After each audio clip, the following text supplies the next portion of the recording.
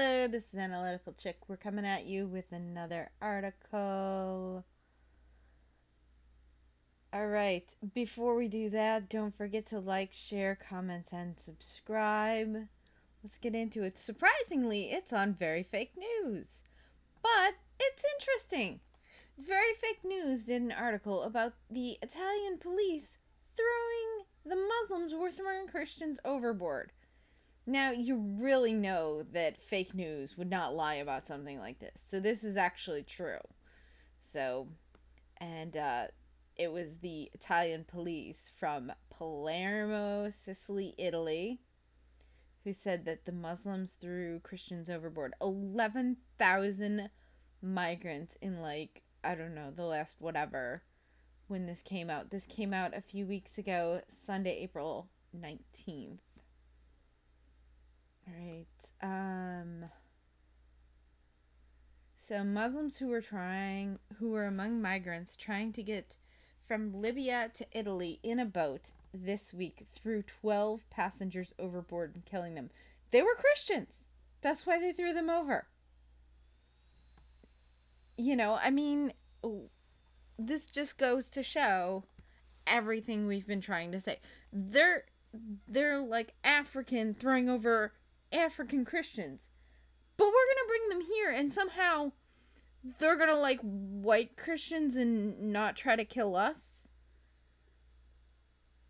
But they'll try to kill Christians the same color of skin as themselves.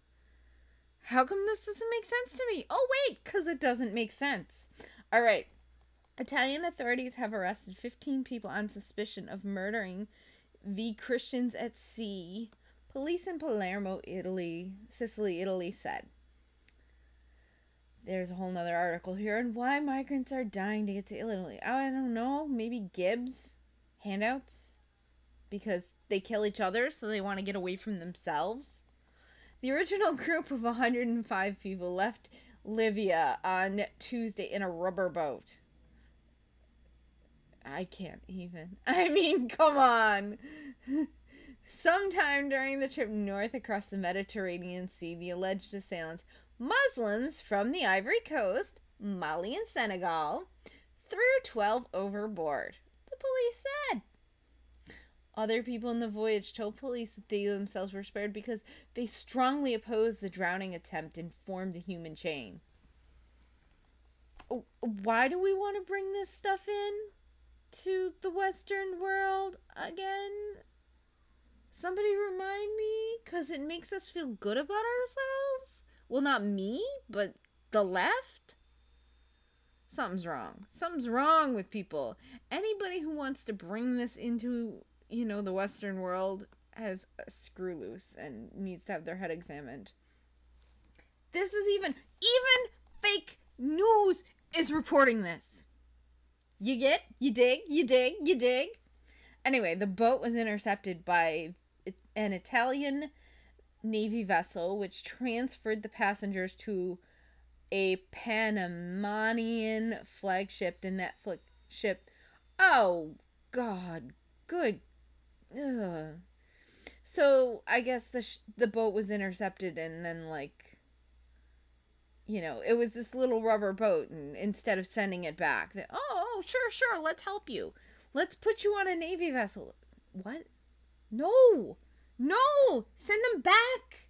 Send them back! The 12 who died were from Nigeria and Ghana, police said. Thousands of people each year make the dangerous sea journey from North Africa to Europe, Europe's Mediterranean coast, often aboard vessels poorly equipped for the trip. Many of them attempt the voyage to flee war and poverty in Africa and, and the Middle East see my video about Malthusian limits and Africa and the Middle East and other shithole countries.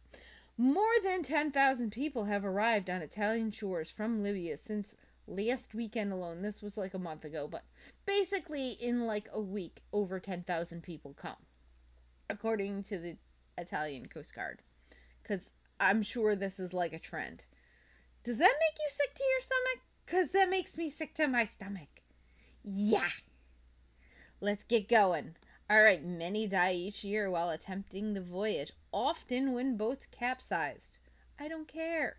Last year, at least 3,200 died. Good! Trying to make the trip. Good! It's their own fault for trying to make the trip, for trying to break into Europe.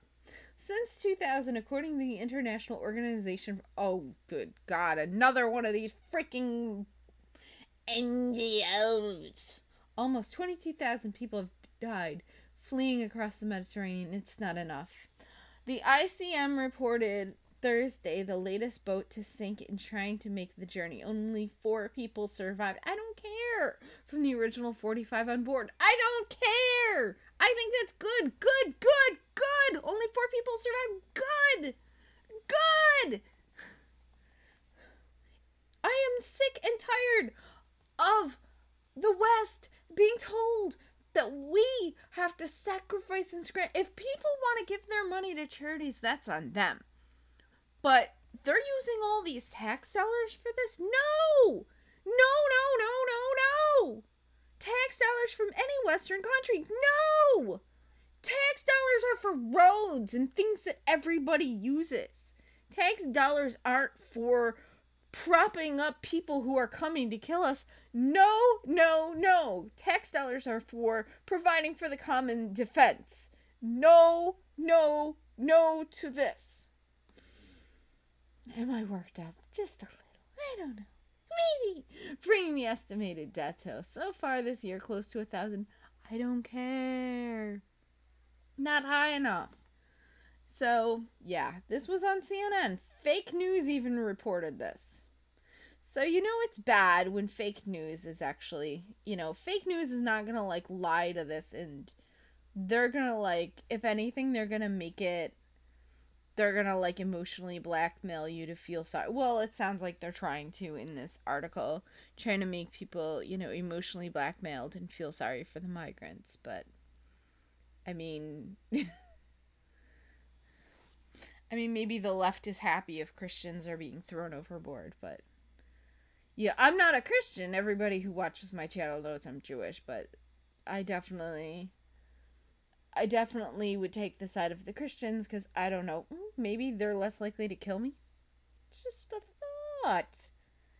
Just a thought, I say. All right. Don't forget to like, comment, share, and subscribe. Check me out on other social media sites. Uh, BitChute I actually didn't mention in there. Thanks for stopping by my channel. I will see you all next time.